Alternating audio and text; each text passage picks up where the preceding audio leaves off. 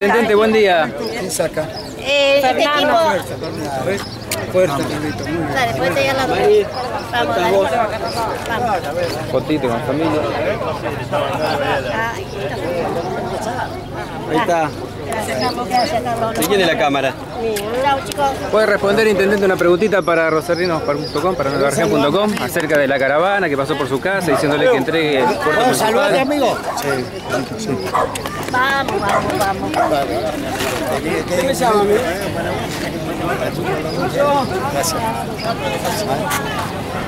¿Qué le contesta, Intendente, a la gente que Nada, hizo la caravana, nada, el que me acto? puteó la madre, nada más.